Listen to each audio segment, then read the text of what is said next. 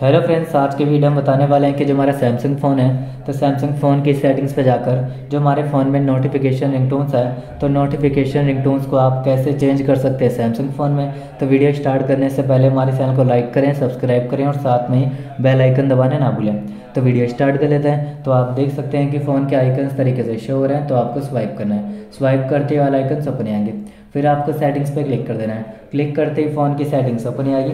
फिर हमारे फ़ोन में नोटिफिकेशन रिंगटोन्स है। तो नोटिफिकेशन रिंगटोन्स को आप कैसे चेंज कर सकते हैं? तो सबसे पहले आपको क्लिक करना होगा। देख सकते हैं कि सबसे पहले आपको क्लिक करना होगा। साउंड ऑप्शन पे। क्लिक करते ही sound and vibration setting open ही आएगी। तो नोटिफिकेशन रिंगटोन्स को चेंज करना चाहते हैं तो इस पर क्लिक करेंगे।